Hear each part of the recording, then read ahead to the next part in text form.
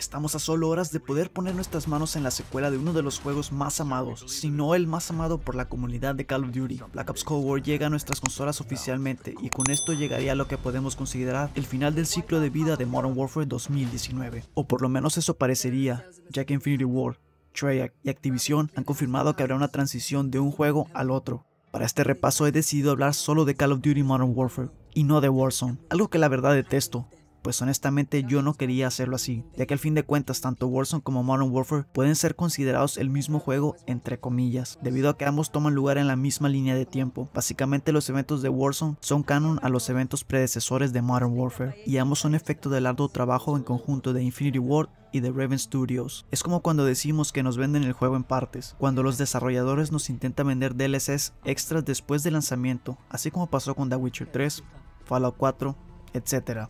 En esos momentos sí consideramos que el juego sea uno mismo. ¿Por qué no llamarlo de la misma manera en esta ocasión? Quizás porque la segunda parte lo ayudó a llegar vivo hasta el siguiente lanzamiento de la franquicia. Bueno, según eso leí en redes sociales. Aún así, después de ver el repaso de varios creadores de contenido, al igual que ellos, con todo respeto a Infinity Ward, he decidido hacerlo por separado y solo me enfocaré en el modo campaña, todo lo que conlleva el modo multijugador y el modo operaciones especiales.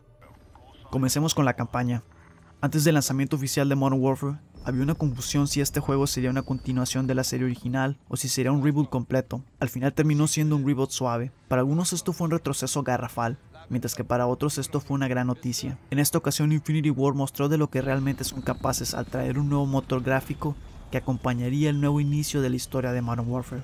Los gráficos fueron uno de los elementos que más le llamó la atención a los nuevos usuarios de la comunidad, mientras que los personajes y tétrica historia fue lo que hizo volver a miles de usuarios que se habían alejado del monstruo publicado por Activision. Sin ningún problema puedo decir que después de años Infinity War logró captar mi atención hacia Call of Duty nuevamente. La campaña es una de las mejores en los últimos años. Personajes entrañables como el Capitán Price vuelven mejor que nunca. Y con él nos trae Kyle Gas Garrick, personaje que ya muchos conocíamos de los Call of Duty anteriores. En esta ocasión Gas toma un rol más cercano al principal. Infinity War hizo un gran trabajo con la inclusión de personajes de color e inclusive de personajes femeninos como Farah Karim, tanto así que misiones como cautivos hicieron que algunos fans tomaran una reacción diferente hacia el personaje. En esta ocasión se notó el esfuerzo de los escritores al darle un espacio a cada operador, ya fuera Alex, Farah, Gas y por supuesto el guerrero de mil batallas, el capitán de la SAS, y líder del Task Force 141, el capitán Jonathan John Price. Jamás olvidaré el inicio de la primera misión, específicamente antes de que apareciera el título de Modern Warfare. Justo aquí fue donde me di cuenta que estaba a punto de disfrutar una de las mejores campañas en la historia de la franquicia. Ahora hablemos del multijugador. Este tema se hablará por partes, para darles un momento a cada tema como se lo merece. Nuevamente, todo esto desde el punto de vista de su servidor. Comencemos con los mapas. Este tema fue uno de los más hablados y no de manera positiva. Recuerdo con claridad mapas como Dome, Seatown, Arcaden, Baccarat y Resistance. Mapas en los que me divertí por años. Mapas que se convirtieron en emblema de Call of Duty. Muchos esperábamos ver este tipo de mapas en Modern Warfare. La realidad fue otra. Lo primero que noté la primera vez que jugué el multijugador de Modern Warfare fue el tamaño de sus mapas. No voy a negar, me tomó tiempo adaptarme a ello, pero cuando lo hice, mi dinámica de juego no solo cambió, sino que me di cuenta que Infinity Ward estaba buscando cambiar la manera en la que los jugadores desarrollaran su estilo de juego. Obviamente hay diferentes estilos de juego, pero Call of Duty nos tenía acostumbrados a lanzar una granada al cielo antes de comenzar la partida y después correr hacia adelante a buscar a nuestros enemigos, algo bastante básico y clásico, pero que la verdad es que sigue existiendo. El problema llegó cuando mapas como Ark Peak y Grasna Raid te obligaban a salir a buscar enemigos que por alguna razón siempre estaban estacionados en la misma ubicación. Estos enemigos con un sniper te eliminaban de lejos, causándote volver a caminar por todo el mapa nuevamente para que solo fueras eliminado otra vez, desde lejos, causando que volvieras a perder tiempo caminando otra vez mientras buscabas a alguien. Esto claramente mataba la inercia del juego y a la vez las ganas de jugar Modern Warfare. Tengo que dejar claro que no culpo a Infinity War por crear mapas en los que parte de la comunidad solo se estacionara en una ubicación. Al fin de cuentas, los mismos jugadores decidían jugar así. Obvio, esto añadido al SBMM hacía que los jugadores que jugaban sin equipo sufrieran ante este tipo de jugadores. Aunque no voy a negar que gracias a ese tipo de jugadores que en lugar de jugar dominio parecía que estaban jugando Team Deathmatch, junto a mi equipo ganamos una infinidad de veces, sin ningún problema. Claro, esto es gracias a que su servidor puede confiar en la gran habilidad de ellos. Aunque también entiendo que no todos tenemos la suerte de tener un equipo que nos respalde. Yo no creo que todos los mapas fueron malos, también hubo mapas que en lo personal me agradaron como Yard, Ramasa, Shoot House, inclusive Piccadilly, mapas en los que podías completar tus retos para desbloquear tus camos. Ahora hablemos de los modos. En este año modos como Gunfight, Search and Destroy, e inclusive modos como Onslaught, que fue añadido hacia el final de Modern Warfare, le dieron un alivio a la comunidad que ya estaba cansada de quizás jugar modos como Dominio y Guerra Terrestre. Personalmente creo que les faltó saber balancearlo, pero siento que la atención hacia Warzone tuvo algo que ver. Ahora hablemos de ciertos aspectos del multijugador. El minipapa fue otro de los temas que junto al audio, las puertas, la habilidad de montar, la animación de los movimientos y el tiempo para eliminar hizo que muchos de los usuarios que se unieron a la comunidad de Call of Duty en los últimos años detestar el juego. Y eso mismo causó que otros miembros de la comunidad volvieran a la franquicia. Por un lado se decía que Infinity War intentaba ayudar a los usuarios nuevos, mientras que por el otro se alegaba que la dificultad era tanta que hacía que los usuarios nuevos se quejaran por no querer adaptarse. Personalmente el minimapa no fue un problema para mí, debido a que yo solo juego en el modo realismo, pero para quienes el mapa es una herramienta esencial fue un tormento adaptarse a cosas como por ejemplo que el mapa no marcara a los jugadores, aunque después se fue modificando, pero jamás llegó a ser como los minimapas clásicos. Esto me llevó a otro problema, básicamente al no saber de dónde te están disparando. Esto te hacía depender de los sonidos. El problema fue que nunca supieron balancear el audio. En ocasiones escuchaba los pasos y en ocasiones no sabía si estaban en tu izquierda o derecha. La habilidad de montar hasta el día de hoy es algo que la comunidad quiere inclusive hasta fuera de Warzone. Personalmente juego bastante ofensivo, así que solo para desbloquear camos lo utilizaba, y créanme al decirlo que detestaba utilizarla, ya que realmente no me agrada jugar táctico a menos de que el objetivo dependa de ello. Pero la verdad no me molestaba que estuviera la opción. Nuevamente, el problema era los jugadores que explotaban esta habilidad. Lo mismo sucedía con las puertas. La animación de los movimientos es otro tema que causó debates. Por un lado se pedía fluidez y agilidad, y por otro lado se agradaba que un sniper causara que el operador se sintiese más pesado a diferencia de cuando traías un subfusil. Personalmente me agradó que en ocasiones tardara en levantar el arma para disparar, aunque me costara ser eliminado. Aunque en realidad detesto que jamás hayan intentado solucionar el lanzamiento de granadas. Jamás había pegado tantas Syntex en postes delgados de luz como lo hice en Modern Warfare. Lo peor es que si yo hubiese intentado pegar 10 granadas a la primera lanzada sin apuntar al poste, estoy seguro que jamás hubiese podido lograrlo mientras que el tiempo para eliminar fue otro problema. Muchos detestan lo rápido que mueres en Modern Warfare. Tantas fueron las quejas por parte de la comunidad que se tuvo que balancear una y otra vez las armas.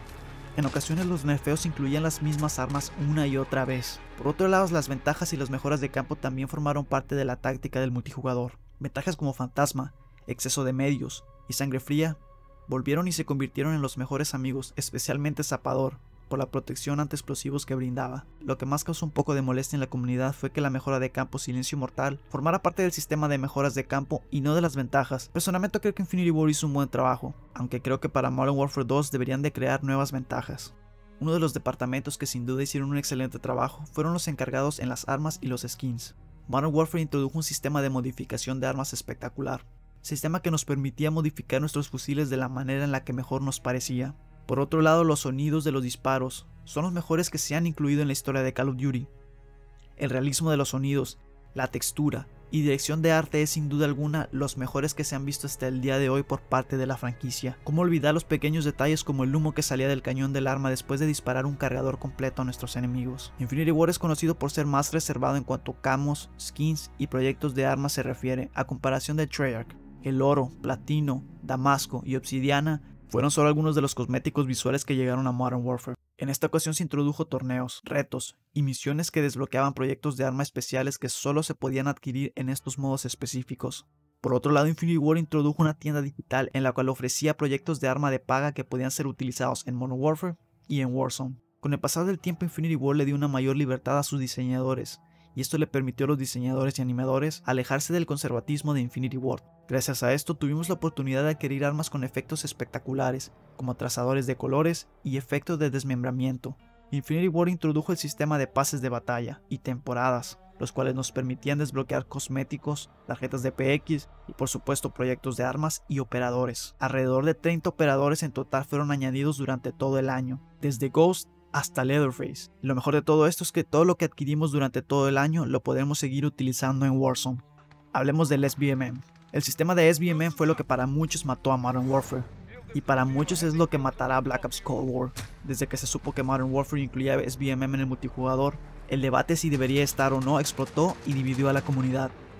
No voy a mentir, para mí este no fue un problema, debido a que tengo la fortuna de que siempre juego en un equipo, y la mayoría de las veces nos va bien.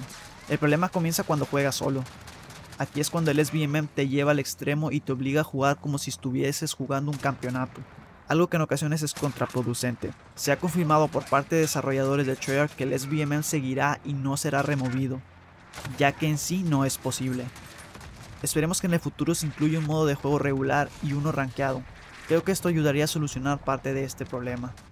Algo que sin duda cambió el futuro de Call of Duty para siempre fue la introducción del juego cruzado, progresión unida e inclusión de contenido gratis. El juego cruzado para muchos es una bendición, para otros es una terrible inclusión debido a los hackers. El juego cruzado te permite jugar con usuarios de diferentes plataformas. La progresión unida permite que el progreso sea compartido en todas las plataformas en las que juegues Modern Warfare. Básicamente el nivel, operadores y armas se encuentran disponibles en todas las plataformas en las que vincules la misma cuenta de Activision. La introducción de contenido gratis también fue lo mejor que pudo haber hecho Infinity Ward. Gracias a esto podemos recibir mapas legendarios como Rust, Crash y Hardhead, además de aspectos de operadores, y por supuesto armas como la Jack 12, la Rytec y la favorita de la comunidad, la Grau 5.56. Sin duda alguna jamás olvidaremos la hermosa Grau 5.56. Por último, tenemos las operaciones especiales. Este modo tenía grandes posibilidades de ser un modo divertido. No puedo negar que tuvo excelentes recompensas. Inclusive, algunos de los proyectos de armas más atractivos los pudimos conseguir en este modo, pero si no hubiese sido por las decenas de bugs y errores que se encuentran en cada misión, este modo fuese sido mejor. Ha sido un año espectacular para Activision Infinity War. El mismo presidente de Activision dejó saber que Modern Warfare fue el videojuego que más ventas trajo a la compañía durante el año. Personalmente tengo que aceptar que gracias a Modern Warfare volví a jugar un juego de Call of Duty, siendo Modern Warfare 3 el último juego de la franquicia que disfruté jugar. Ya extrañaba las armas con camos conservadores, extrañaba el toque de realismo que Infinity War suele dar a la franquicia de Call of Duty, los sonidos reales, los detalles en las armas al cargar y gastar balas, la vibración causada por las explosiones, los remates, la diversidad de armas y por supuesto de personajes. Creo que Infinity War hizo un excelente trabajo. Gracias a Modern Warfare decidí comenzar este canal en YouTube. Que aunque en sí el canal es de todo tipo de videojuegos, ha sido la comunidad de Call of Duty la que más ha apoyado el crecimiento de Edeus District. Por esa misma razón seguiré subiendo videos de Black Ops Cold War y Warzone, aunque claro, también subiré videos de otros juegos que me parezcan divertidos, pero nunca dejando Call of Duty al lado. Muchas gracias hermanos, hoy gracias a ustedes ya somos más de 1500 suscriptores en el canal. Espero que podamos seguir creciendo juntos y como diría el capitán Jonathan Price, Bravo 6, Going Dark. Yo voy a salir, yo voy a hacer el bait, yo voy a hacer el bait. Cúrelo, Jonathan. Tíralo. Venga. Día.